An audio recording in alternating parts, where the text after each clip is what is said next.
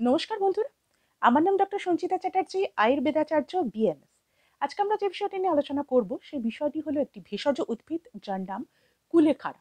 কুলেখাড়ার কী কী স্বাস্থ্য উপকারিতা আছে সেই বিষয়ে আমরা আলোচনা করব। তার আগে আপনারা প্লিজ আমার চ্যানেলটিকে লাইক করুন শেয়ার করুন আপনার বন্ধু বান্ধব আত্মীয় পরিজনের সাথে এবং অবশ্যই সাবস্ক্রাইব করুন সাবস্ক্রাইবের পাশে বেল আইকনটিতে ক্লিক করে দিন, যাতে পরবর্তী নোটিফিকেশনগুলি সরাসরি পেয়ে যেতে পারে।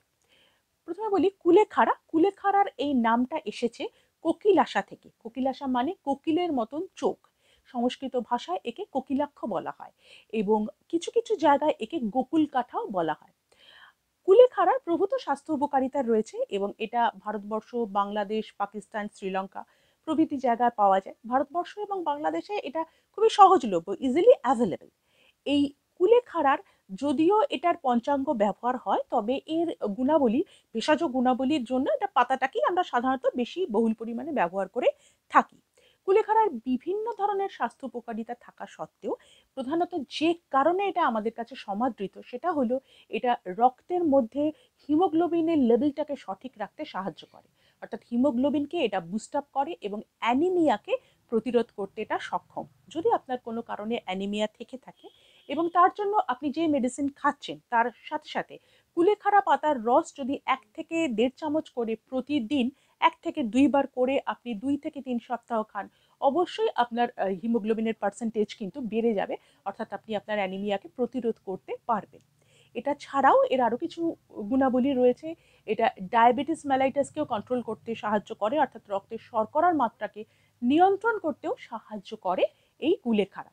এর মধ্যে অ্যান্টি অক্সিডেন্ট প্রপার্টি থাকার জন্য এটা ইমিউনিটি পাওয়ারকে বা ইমিউনিটি সিস্টেমকে বুস্ট আপ করে, অর্থাৎ আমাদের রোগ প্রতিরোধ ক্ষমতাকে পরিবর্ধিত করতে সাহায্য করে এই কুলেখাড়া। এছাড়া এর মধ্যে ডাইউরেটিক প্রপার্টি রয়েছে, এটা ইউরিনারি সিস্টেমকে সঠিক রাখতে সাহায্য করে এবং আমাদের দেহের যে টক্সিক পদার্থগুলো, সেগুলো ইউরিনের মাধ্যমে দেহের বাইরে বের করে দিতে কিন্তু সাহায্য করে কুলেখাড়া।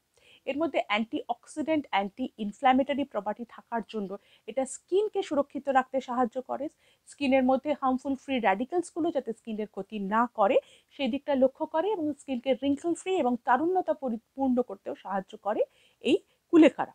এছাড়া কুলেখাড়া আরও কিছু গুণাবলী রয়েছে। ট্র্যাডিশনালি এটা অ্যাজমা বা ব্রঙ্কাইটিসের জন্য কিন্তু এই কুলেখাড়াকে ব্যবহার করা হয় এবং কুলেখাড়ার মধ্যে অ্যাডাপ্টোজেনিক প্রপার্টি থাকার জন্য এই কুলেখাড়া কিন্তু মানে অতিরিক্ত মানসিক চাপকে কমাতে সাহায্য করে এবং এটা অনিদ্রার ক্ষেত্রেও ভীষণ ভালো কাজ করে। যারা অনিদ্রায় ভুগছেন, তারাও কিন্তু কুলেখাড়া পাতাকে খেতে পারেন। এছাড়া কুলেখাড়ার মধ্যে অ্যান্টি ইনফ্ল্যামেটরি প্রপার্টি রয়েছে এবং সেই সাথে সাথে অ্যানালজেসিক অ্যান্টিপাইরেটিক প্রপার্টি রয়েছে, যার ফলে কোনো কোনো ক্ষেত্রে বেদনানাশক হিসাবেও কিন্তু আমরা এই কুলেখাড়াকে ব্যবহার করতে পারি। এবং এছাড়া এর মধ্যে হেপাটোপ্রোটেক্টিভ প্রপার্টি রয়েছে এবং সেই সাথে সাথে এটা অ্যান্টি অক্সিডেন্ট প্রপার্টি থাকার জন্য লিভারকে সুরক্ষিত রাখতে সাহায্য করে এবং লিভার যাতে সঠিক তার কার্যকারিতা করতে পারে সেই দিকটা লক্ষ্য করে এবং এর মধ্যে অ্যান্টি মাইক্রোবিয়াল প্রপার্টি থাকার জন্য কুলেখাড়া কিন্তু আমাদের গাটকে সুরক্ষিত রাখতে সাহায্য করে। হেলদি গাট রাখতে সাহায্য করে। কুলেখাড়ার প্রভূত গুণাবলী রয়েছে। এবারে বলি যে কুলেখাড়া পাতাকে আপনি কীভাবে কনজিউম করবেন, অর্থাৎ কীভাবে একে আপনি খাবেন? দেখুন, অনেকেই কুলেখাড়াকে শাক হিসাবে ব্যবহার করে, রান্না করে খায়, বা আপনি কোনো সবজির ঝোল করলেন, বা কোনো স্যুপ তৈরি করলেন, বা মাছের ঝোল করলেন, তার মধ্যে কুলেখাড়া পাতা দিয়ে রান্না করে এটাকে আপনি খেতে পারেন। এছাড়া যদি আপনার অ্যানিমিয়া থাকে, তো তাহলে সেক্ষেত্রে আপনার যে মেডিসিনগুলো চলছে, তার সাথে সাথে কুলেখাড়া পাতার রস বানিয়ে আপনি খেতে পারেন। আমি বলে দিচ্ছি যে কীভাবে এই রসটা বানাবেন? এক আটি কুলেখাড়া পাতা নেবেন, নিয়ে তার মধ্যে পাতাগুলোকে বেছে নেবেন, বেছে নিয়ে ভালো করে ধুয়ে নিয়ে সেটাকে আপনি মিক্সিতে পিষে নেবেন এবং তারপর সেটাকে ছাঁকনি দিয়ে ছেঁকে সেই রসটা উষ্ণ গরম জলের সঙ্গে মিশিয়ে অল্প একটু মধু দিয়ে খেতে পারেন অথবা সরাসরি সেই রসটাও মধু দিয়ে মিশিয়ে আপনি খেতে পারেন। মধু দিয়ে খাবার কারণ হচ্ছে কুলেখাড়া পাতার রসটা খেতে একটু তেতো। যদি আপনি খেতে না পারেন তাহলে সেক্ষেত্রে আপনি এটাকে মধু দিয়ে মেরে এটাকে আপনি খেতে পারেন। তাছাড়া কুলেখাড়া পাতা চায়ের মধ্যে চা যখন তৈরি করছেন, তার মধ্যে কুলেখাড়া পাতা দিয়ে সেভাবেও আপনি এটাকে খেতে পারেন। অথবা কুলেখাড়া পাতাকে আপনি এটাকে শুকিয়ে ড্রাই করে রেখে দিলেন এবং তারপরে সেই শুকনো পাতাটা সেটা আপনি উষ্ণ গরম জলের সঙ্গে মিশিয়েও আপনি খেতে পারেন। কোনো ভেষজ উদ্ভিদ বা কোনো গাছের পাতা ড্রাই কীভাবে করবেন সেটা একটু বলে দিই। এটাকে আপনি তিন চার দিন রোদ্দুরে শুকাতে থাকবেন এবং শুকাবার পরে যখন পাতাটা ধরলে দেখবেন সেটা ভেঙে যাচ্ছে বা গুড়িয়ে যাচ্ছে, তখন বুঝবেন এর মধ্যে ময়শ্চার নেই।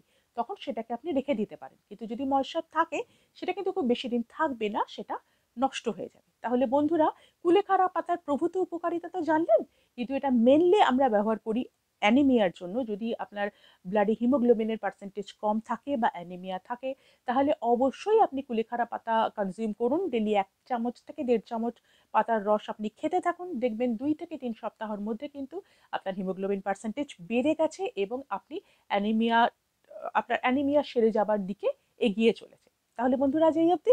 ভালো থাকবেন, সুস্থ থাকবেন। নমস্কার।